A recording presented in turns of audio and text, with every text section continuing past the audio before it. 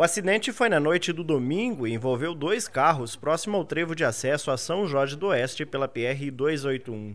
O casal que viajava nesse palio sofreu ferimentos, foi atendido pela equipe do Departamento de Saúde Municipal de São Jorge do Oeste e é encaminhado para a unidade de pronto atendimento do município.